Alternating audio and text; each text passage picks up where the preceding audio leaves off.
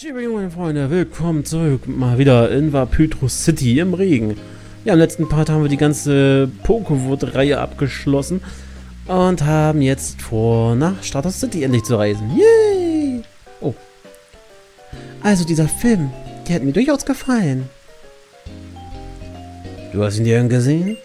Das war, da war es so eine Sache mit dem Film. Ich war so aufgeregt, dass ich gar nicht richtig in meine Rolle als Riolo-Man hereingefunden habe. Damit habe ich niemanden begeistert. Hey, Kopf hoch. Du kannst es ja neben deiner Arbeit als Kapitän nochmal versuchen. Solange du niemand Unannehmlichkeiten bereitest, werde ich auch nicht wütend.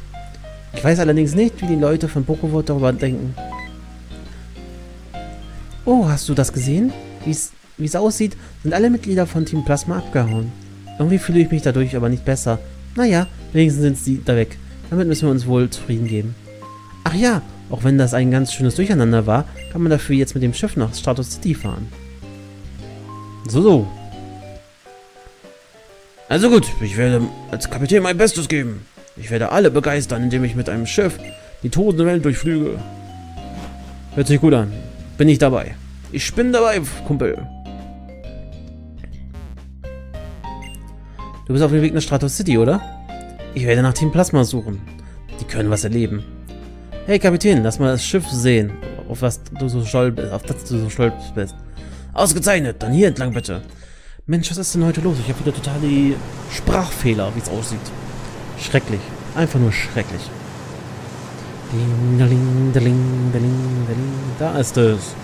Stratos City. New York City. Willkommen in New York City, meine Freunde.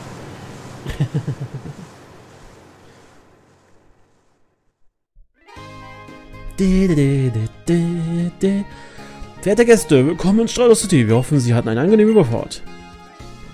Das ist also Stratos City. Die Straße ist ja viel größer, als ich dachte. Aber das spielt keine Rolle.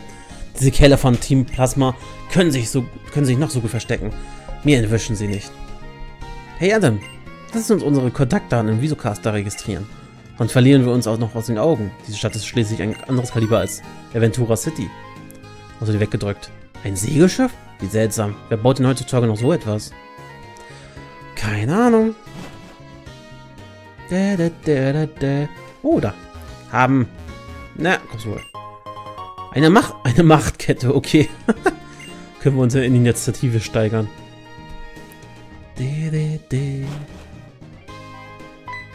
Hm? Willkommen zur heiteren Schnitzeljagd durch Stardust City. Du bist zum ersten Mal hier, habe ich recht? Ausgezeichnet, dann möchte ich dir dieses Fahrrad als Starthilfe geben. Yay!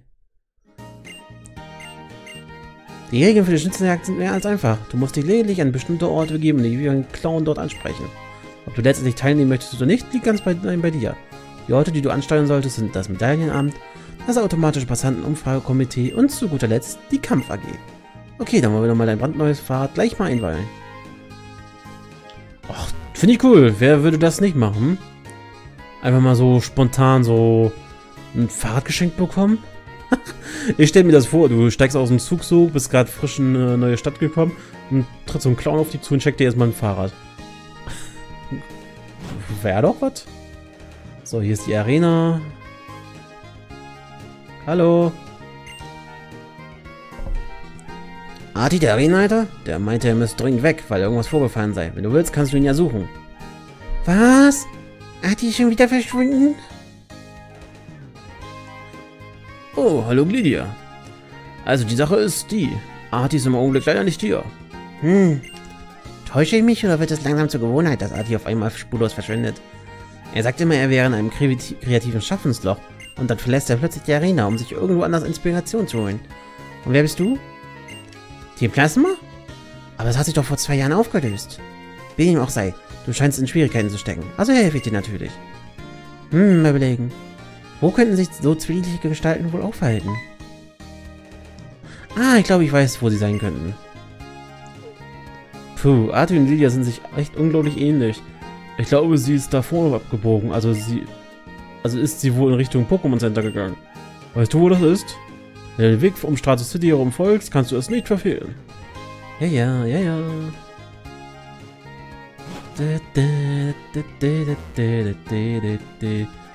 Na, gucken wir erstmal die Piere ab, ob wir hier noch irgendwie Items oder so finden. Nö. Die Kampf-AG werden wir auch erst machen, wenn wir jetzt in, den Kanal in der Kanalisation gewesen sind. Und uns da den Partner für Rio gefangen haben. Den, können wir gleich, den könnten wir eigentlich gleich mal mitnehmen, ne?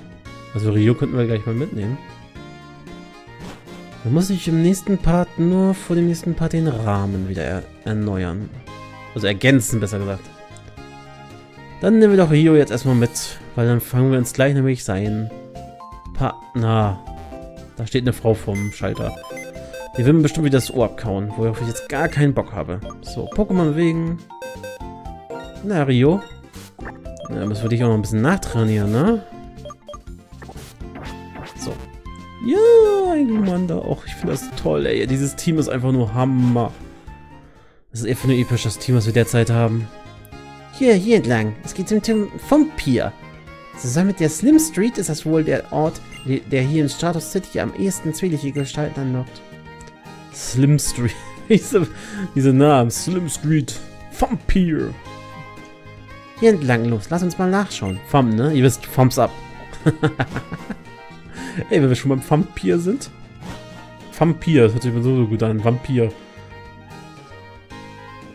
Das ist die Gang zur Kanalisation. Na? Ob man da wirklich deinen Wagen sollte?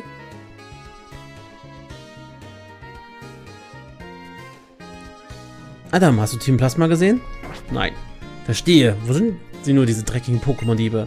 Mal sehen, dann gibt es eigentlich nur noch einen einzigen Ort, an dem ich noch nicht nachgesehen habe. Adam, komm, du musst mir helfen.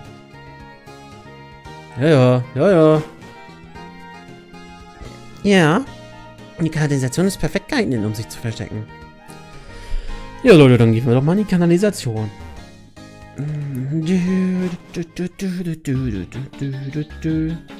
Adam, du musst stärker werden. Also allein wird es schwer für mich, gegen diese Leute anzukommen. Keine Sorge, ich kümmere mich um die Heilung unserer Pokémon. Bist du bereit, Adam? Alles klar, machen wir uns auf die Suche. Nach Team Plasma. Nach Team Plasma. Ja, und hier dürfen wir jetzt ein neues Pokémon fangen. Ja, die Partner für Rio. So, und zwar können wir aus zwei Pokémon wieder auswählen. Alter. Pionscorer. Wie süß. Kommt mit Pionscorer. Aber das ist ja wohl klar, welches Pokémon ich nehme, ne? Das ist ja wohl sowas von klar. Nee, nee, nee, nee, nee. Du weißt schon, dass du da ein Pantimimi vor dir hast, was dir unglaublich schaden kann, oder? So, ich werde nämlich Surio fangen, ist doch klar.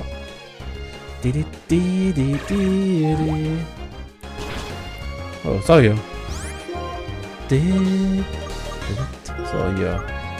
Hauen wir erstmal Pantimimi weg mit. Alter, hör doch. Warum machst du ein Akupressur? Was hat das für einen Sinn? So, hier. Käferbiss. Bam. So, dann ist Pantimimi schon mal weg. Hoffen wir, dass Cesurio noch eine Weich, ein Weilchen weiter schläft. Die, na, natürlich nicht. Bumm. So, dann... Ja, mal Schlafpuder. Gehen wir davon aus, dass Pionscore jetzt mal angreift. Habe ich was gesagt? Nö, nö, habe ich nicht. Och, Alter, ernsthaft? Wie oft willst du denn noch Akkupostur machen? Hast du überhaupt einen Angriff? Weil ich würde jetzt Suri ungern angreifen, wenn der da gleich ankommt und den finisht mit einer, was weiß ich für Attacke. Okay. Er macht nur Akkupostur. Ich habe zwar keine... Aber kann das nicht auf seinen Partner auch machen? Warum macht das nicht auf mich? Hm? So. Bam. Ja, ja. Ich mach, mach nochmal Kieferbiss. Ich hab einfach... Was machst du da? Oh nein! Was macht der Vollidiot da? Warum macht der Akupressur auf Cesurio? Willst du mich verkackeiern? Alter, willst du mich verarschen? Wieso macht der Akupressur auf Cesurio? Ja geil, ich treffe den ja so gut wie gar mit gar nichts mehr hier. Oh oh. Au. Je. Das war ein Crit, okay. Alter, ich werfe jetzt einen Ball. Das wird mir hier zu kritisch. Wegen diesem Vollidioten. Ey, wie kommt man denn auf die Idee, auf den Gegner Akupressur zu machen? Klar, ignoriere mich. Ich bin zwar dein Partner und kann das auch gebrauchen, aber mach ruhig auf den Gegner Akupressur. Cesuro, bitte klopp auf Pions Core ein. Bitte. Äh. Das wird mir jetzt gerade zu kritisch hier. Sorry, aber ne. Ähm, ja. Sephiroth kann ich schlecht einsetzen. Cell, du wirst das machen müssen. Ey, das regt mich jetzt gerade voll auf. Da macht der Akupressur auf Cesurio. Alter, was soll das? Hör auf damit. Ich den Angriff erhöhen? Bitte kill Pions Koreis, ey. Oh, das kann nicht angehen. Schlafpuder, bitte triff. Jetzt greift er den an. Weh, du, ich wollte sagen, weh, du killst den. Alter.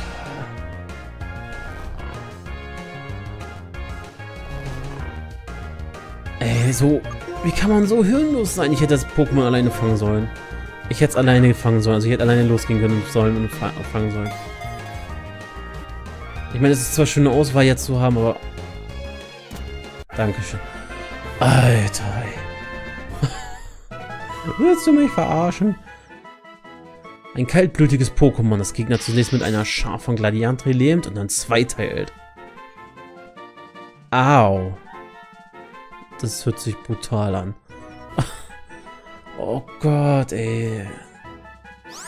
Komm bitte nicht auf die Idee, das gleich bei unseren äh, Plasma-Gegnern zu machen. So.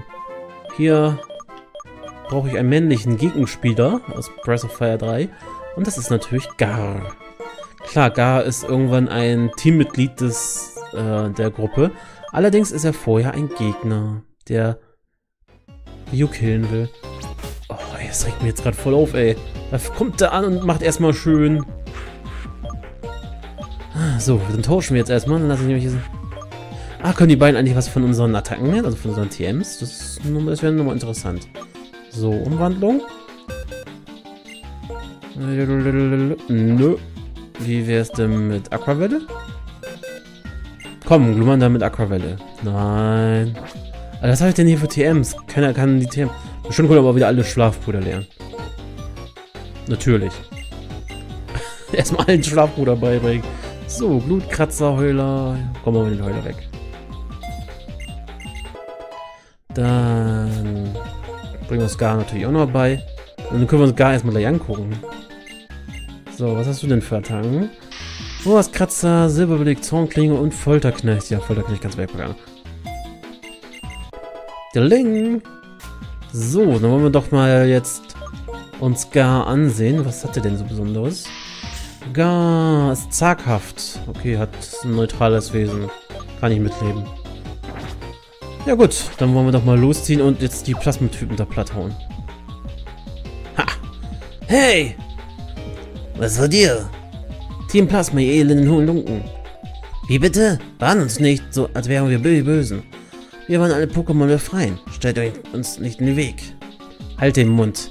Die Pokémon befreien? Von wegen. Ihr seid nicht weiter als Pokémon-Diebe. Außerdem benutzt ihr die gestohlenen Pokémon wie Werkzeuge. Halt die Kappe! Her mit eurem Pokémon! Los geht's, Adam! Weh! Wage es dich nicht, Tios. Wage es dich nicht, auf die Gegner wieder Akupressur zu kommen. Ich hab gedacht, der, der, der spinnt doch. Nö, mach nicht auf uns Akupressur. Warum auch? Mach auf den Gegner. Ich sag...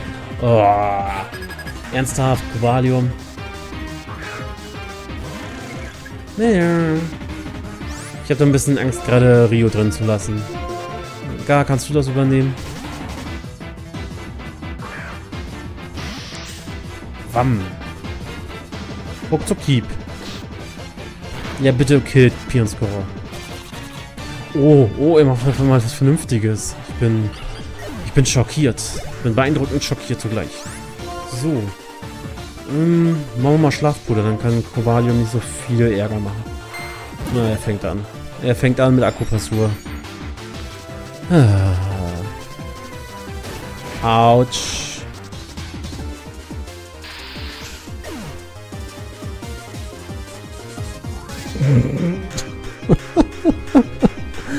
Oh nein. Ich habe nicht gewusst, dass Copalium auf dem Level Doppelkick schon hat. Oh nö. Na, das war ja ein kurzes Vergnügen. Wie war das noch? Yeah, wir haben einen Cesuri und einen Glumanda. Ja, großes Kino. Und er macht weiter Aquapressur. Wenn ihr irgendwann mal so ein Klopfen ans Mikrofon hört, dann habe ich meinen Kopf gegen das Mikrofon geschlagen.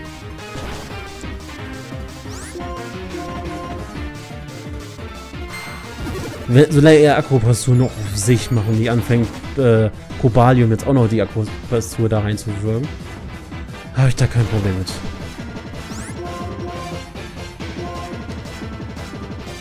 Ich hasse ihn. Ich hasse Tios. Bitte, ich will nie wieder mit Tios zusammenkämpfen.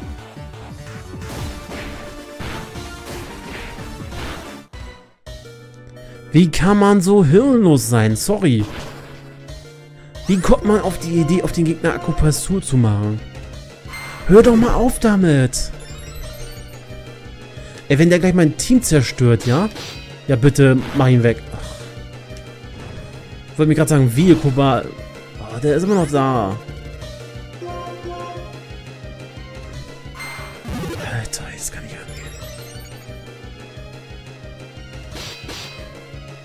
Kann ich sagen, äh, Tios ist ein Verräter. nein, hinter nicht daneben. Tios ist ein Verräter. Alter, hör doch mal auf! Bist du wahnsinnig?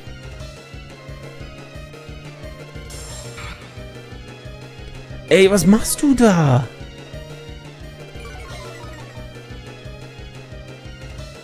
Oh nein. Alter.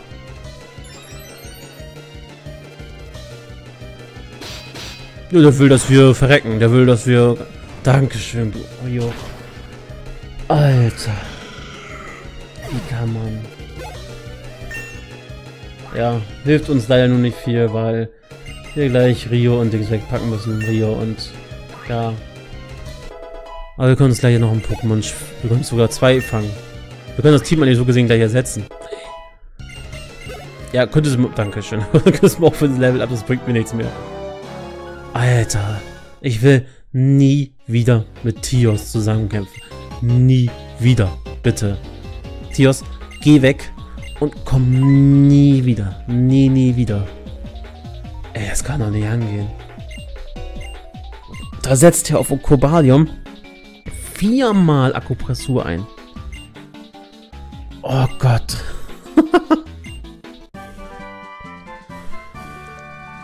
Eigentlich war ja der Meinung, dass das hier kein Herausforderungsmodus ist. Es gibt ja den Hürdenmodus, der herausfordernder sein soll.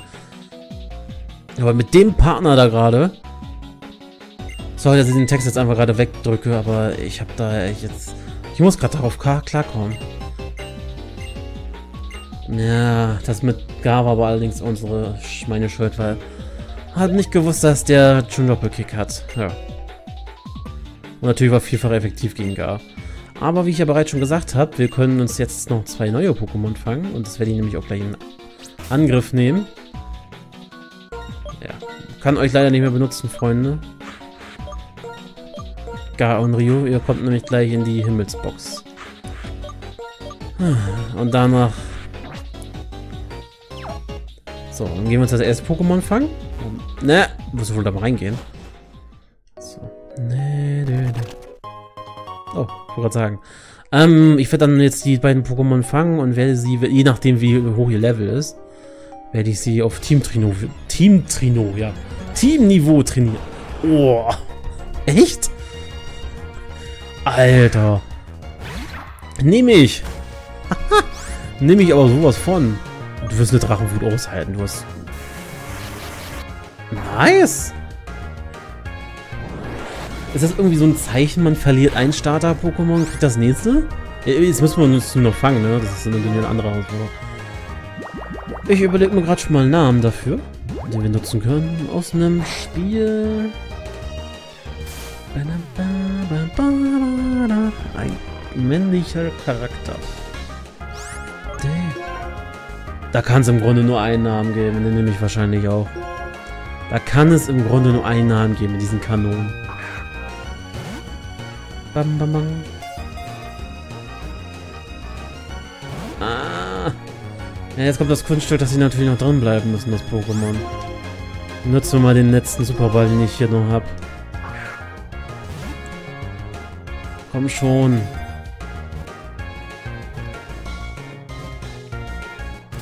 Ja. Nice. Sehr schön. Genial, wir haben ein... Oh, oh, oh, ich bin so... Der Wasserstrahl, der aus den Wasserdüsen schießt, kann sogar Stahlwände durchdringen. Mhm. Das ist heftig. So, wir werden ihn Barrett nennen. Sorry, Leute, aber mit den Kanonen, und wenn ich dann an unser Final Fantasy 7 Let's Play denke, muss das Barrett werden. und ja, ich habe mir auch schon den Namen für unsere Gegenspieler ausgedacht, wenn wir denn den fangen. So, das heißt aber, wir müssen Barrett definitiv nicht trainieren. Ich denke mal, ich werde mir auch einen Schutz noch kaufen, ne? Weil wenn wir hier jetzt gleich durch... Im nächsten Part werden wir natürlich die Kanalisation durchforsten, die Gegner hier platt machen. So, wir können nämlich hier oben noch in Stratos City selbst. Und hier ist ein äh, Platz gewesen, wo ich, wenn ich jetzt äh, selbst gespielt habe, gerne hingegangen bin, weil hier kann man nämlich Evolis fangen. So, dann, ich nehme das dunkelgrüne Glas, einfach um zu hoffen, dass wir eine Auswahl aus zwei Pokémon bekommen. Na, es wird doch nur ein Pokémon. Oh, wirklich? Krakelo, ernsthaft? Äh, naja, gut. Ähm, du wirst auch eine Drachenhut aushalten. Du wirst definitiv mehr haben als 40 KP auf dem Level. Jo, ich wollte gerade sagen, ey. Alter, der Schaden. Hör damit. Ich wechsle mal auf Cypher. Dann macht sein Pfund wenigstens nicht so viel Schaden. Und alle unsere Pokémon haben ja Schlafbruder. Sehr schön. Aufruhr. Ach, jetzt kann er nicht einschlafen. Crap. Ach Mensch, warum? Hör damit. Hier, nimm, po nimm einen Pokéball. Bam. Voll an die Oberlippe.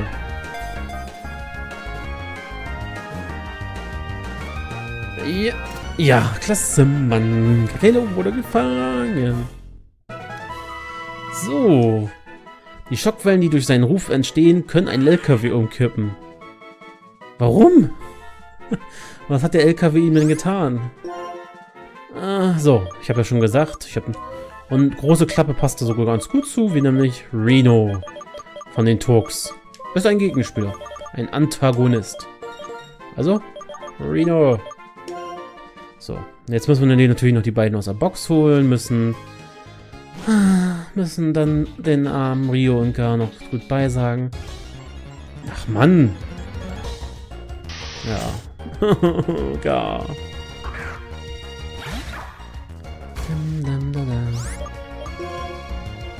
Ah, ich komme da immer noch nicht drauf klar.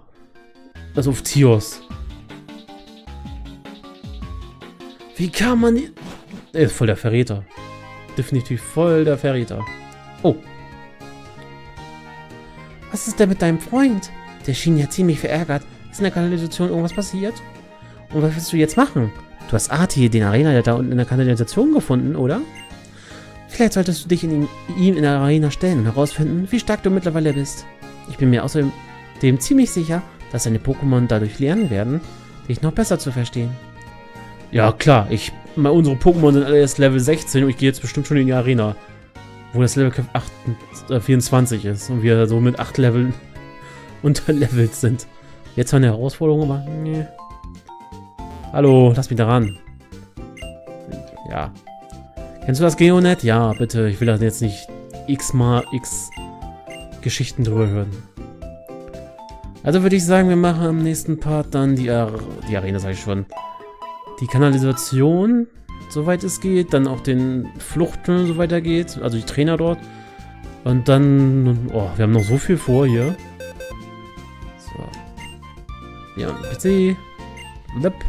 Pokémon bewegen. Ach, wir haben sie noch nicht umbenannt. Gut. Nein, das wird nicht die... Das wird nicht die Himmelsbox. Das wird das Paradies sein. Ein schönes Paradies für unsere Pokémon. Para... Och Mann, mir ist es aber auch nicht gegönnt, man ein richtiges Let's Play die ganze Zeit mit, mit Glumanda oder so. Glurak ist damals auch gestorben. So. Ja, sorry Rio, ich habe mich so gefreut. Aber erster Kampf und schon bist du weg gewesen. Mach's gut, ihr beiden. So, und jetzt kommt natürlich noch nämlich Barrett. Hallo Barrett. Ein hitziges Gemüt hat er. So. Ist sogar schon automatisch das stärkste Pokémon im Team.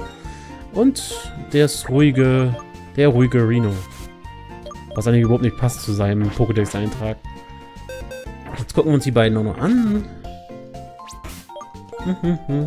Alter.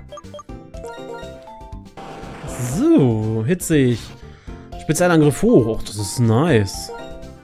Ja, Aquaquar ist, glaube ich, ein bisschen besser als Blubber. Dann bis...